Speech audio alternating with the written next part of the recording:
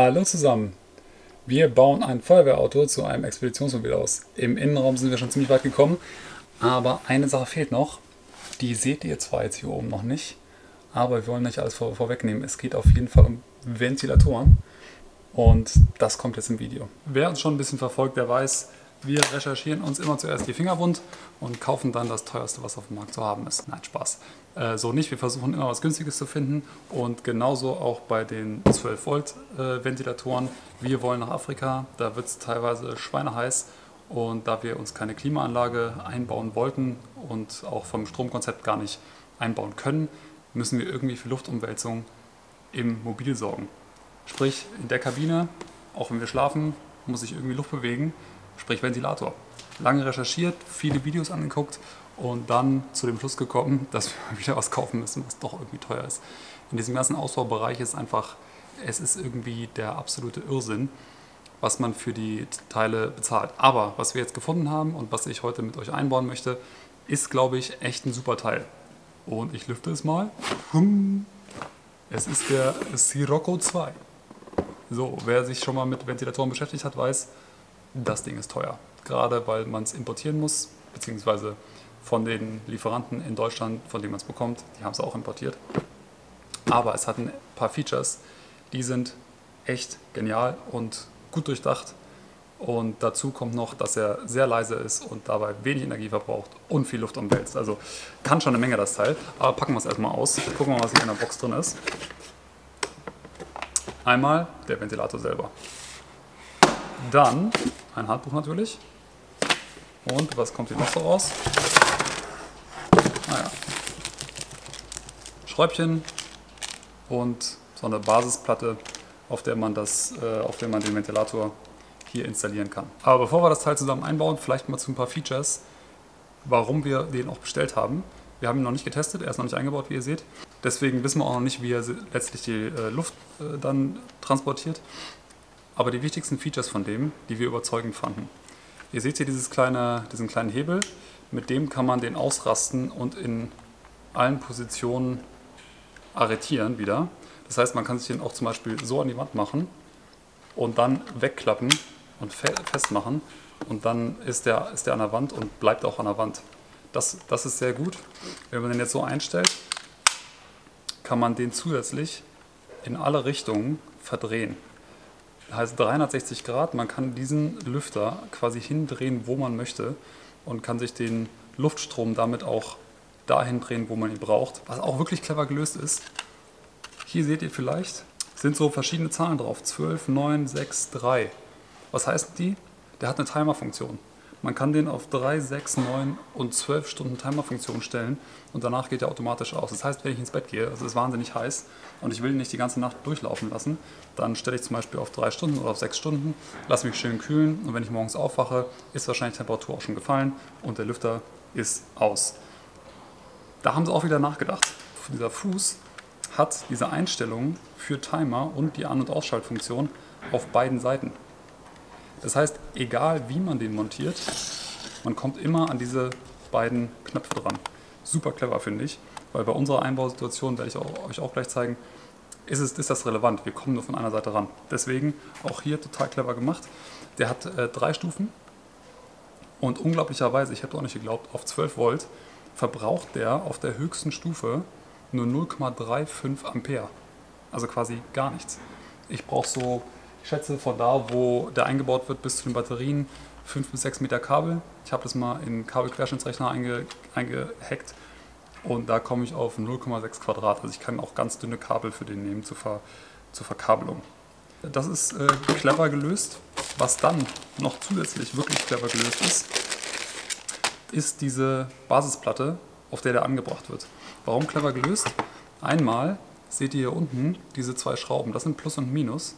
Das heißt, die müssen nicht zwangsläufig irgendwo zur Seite raus, die Kabel. Ich kann die auch zum Beispiel auf ein Brett schrauben und dann die Kabel durchführen. In der Platte selber sind nämlich auch nochmal Löcher, wo die Kabel dann durchgeführt werden können. Außerdem sehr clever, diese Platte rastet hier hinten, die schiebt man ein, dann zieht man die ein bisschen zur Seite, dann rastet die ein, dann legt man hier unten zwei Muttern rein und schraubt von oben durch. Und diese Schrauben kriegt man natürlich immer wieder raus. Das heißt, man kann den immer wieder von dieser Basisplatte runterziehen und damit warten oder die ähm, Kabel nochmal abschrauben und dann woanders zur Not auch verbauen. In der Basisplatte selber sind zwei, vier, sechs Möglichkeiten, den festzuschrauben. Also diese Platte hier wird, wenn man es nicht ganz dumm anstellt, wahnsinnig gut auf einer, auf einer Wand halten. Zusätzlich ist hier auch noch so ein Mounting Tape dabei. Ähm, das ist ein doppelseitiges Klebeband letztlich. Damit kann man diese Basisplatte mal festmachen, um mal zu gucken, wo, wo könnte der gut positioniert sein, wo passt der gut. Schreiben Sie eine Anleitung allerdings, dass das hier nicht für die Montage gut ist, hat einfach nicht genug Haltekraft.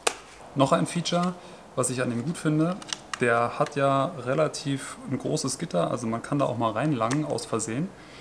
Die Rotorblätter hier sind allerdings aus Gummi und die Kanten sind auch nicht scharf. Das heißt, man kann da bestimmt auch mal seinen Finger gegen äh, halten, ohne dass man sich hier gleich dran verletzt. Das äh, ist auch wichtig, gerade wenn man auch mit Kindern unterwegs ist zum Beispiel. Und jetzt gehen wir mal rein und bauen, gucken uns erstmal an, wo macht der eigentlich Sinn hinzubauen. Und dann bauen wir den mal ein. Und wenn man sich jetzt hier mal in der Kabine umguckt, dann bei einem Ventilator ist, glaube ich, der perfekte Ort da oben in der Ecke hinter den Oberschränken. Wir liegen mit dem Kopf wahrscheinlich meistens da. Wenn wir mal an einem See stehen, wird das die Seite sein, die Beifahrerseite, die eher geneigt ist. Das heißt, Kopf immer hoch und der Ventilator wahrscheinlich am besten am Fußende. Da haben wir auch ausreichend Platz. Hier hinterm Oberschrank ist nämlich noch dieser Platz zur Verfügung, wo wir eigentlich nur ein kleines Regal reinbauen wollten. Aber da passt der ja jetzt eigentlich perfekt rein. Plus, wir haben hier hinten den Eckkabelkanal, wo ich dann auch gleich nach unten komme an die Batterien. Das heißt, hier sollte der hin. Und was ich mich jetzt gerade noch frage ist, nach unten oder zur Seite? Also es gibt im Endeffekt zwei Möglichkeiten. Entweder hier, dann kann man den auch schön drehen. Hier. Oder hier an der Seite. Dann kann ich ihn eventuell aber nicht mehr so gut auf den Kopf ausrichten. Wobei ich ihn auch so stellen könnte. Und dann so. Würde auch gehen. Zur Montage steckt man natürlich zuerst die Muttern hier unten rein, weil da kommt man ja nicht mehr ran, wenn man das einmal raufgeschraubt hat. Äh, das hier ist quasi die Bodenseite und da wird, kommt dann später der Ventilator drauf. Und ich habe mir hier noch so Sicherungsmuttern reingesteckt, weil letztlich hängt der Ventilator dann an der Bodenplatte auf, bei diesen zwei Schrauben hier. Und da wir viel Rüttel haben beim Fahren, wollte ich nicht, dass sie rauskommen. Die stehen ein bisschen über, aber das ist nicht so schlimm. Dann noch die richtigen Schrauben, die werden nicht mitgeliefert. Der Hersteller kann auch nicht wissen, wo ihr reinschrauben wollt. Da habe ich mir jetzt die richtigen besorgt, die nicht tiefer als 12 mm sind, weil unsere Oberschränke sind ja aus 12 mm. Wer das Video noch nicht gesehen hat, verlinke ich euch natürlich oben.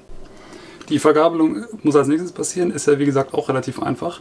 Das sind hier die mitgelieferten Kabel, die könnte man hier einfach direkt anschließen.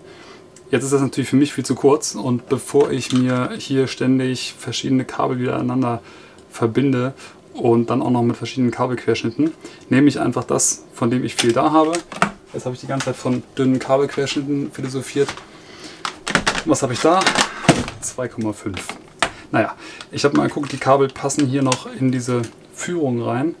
Das heißt, damit ich nur ein Kabel verwenden muss und, es durchziehen kann, nehme ich einfach das dicke. Das Gerät stürzt mit Sicherheit nicht. Jetzt muss ich nur mal kurz gucken, dass ich mir das Kabel hier nochmal richtig den Mantel abmache. Dann müssen wir jetzt die Kabel eigentlich nur noch richtig zuschneiden, damit die die richtige Länge haben. Hier nehmen wir den Minus. Plus hier. Kurz schön krempeln.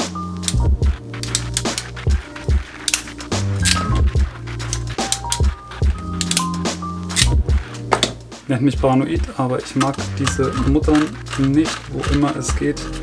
Ersetze ich diese Muttern durch selbstsichernde Muttern, auch in diesem Fall. So, mit einer etwas seltsamen Kabelführung hat das dann letztlich geklappt. Und jetzt müssen wir das eigentlich mal an die Wand ranbringen.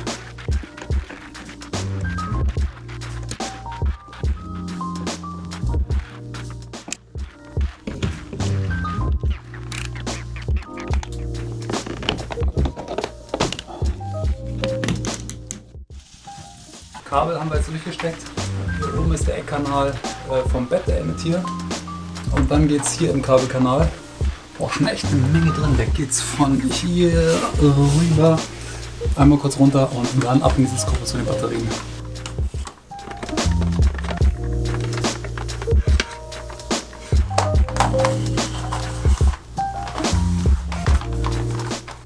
So viel Schwein muss man mal haben. Also normalerweise sind die Kabel am Ende entweder viel zu kurz oder viel zu lang. Meistens zu kurz, dann muss ich sie verlängern. Total nervig. In diesem Fall passt es total perfekt. Also das ist mir glaube ich noch nie passiert. Ähm, anyways, wir sind jetzt hier komplett durch. Heck, äh, Sitzgruppe und hier ist die zweite 12 Volt Verteilung, die wir noch einbauen mussten, weil die erste, ihr seht es, hoffnungslos über, überlaufen, der Laden. Und deswegen muss hier noch eine zweite rein. Und da wird das jetzt hier angeschlossen.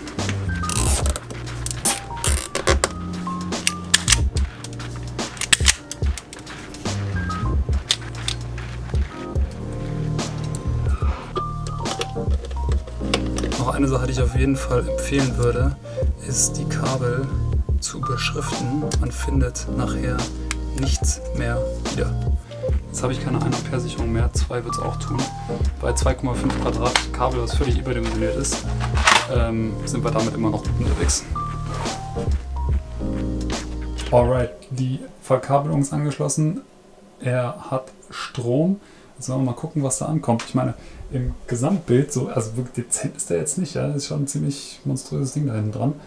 Aber er soll ja auch ein bisschen was leisten. Mal gucken, was passiert. Erstmal einschalten. So, machen wir mal hier an. Bums, Stufe 1. Ja, ziemlich leise. Merkst du wahrscheinlich auch nichts, oder? Doch, bisschen. Ja, bisschen? Okay. Machen wir Stufe 2. Da kommt schon ein bisschen mehr. Und? Sturmfrisur ist noch nicht, aber Nee. geht schon. So, Stufe 3. Ja, da geht schon einiges. Da kommt schon ordentlich was. Kommt was an. Aber was es an, ist ne? keine Stumpfrisur. Zum Pennen, was würdest du sagen?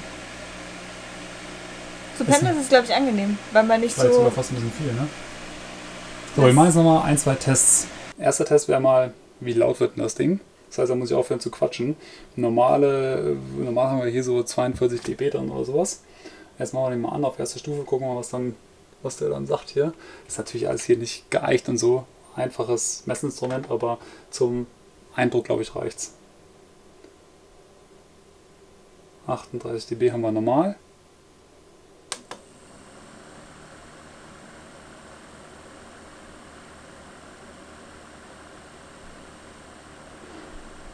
Erste Stufe sowas um die 48.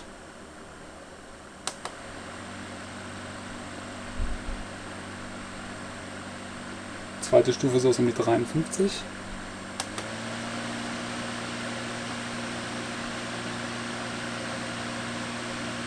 Und dann sowas um die 59. Okay, ist immer ein bisschen schwer darzustellen, wie stark ist das wirklich. Gott sei Dank bin ich E-Zigarettendampfer. Ähm, deswegen blase ich da jetzt einfach mal kräftig rein und gucken mal, wie das aussieht. Also Stufe 3 und dann ab geht's.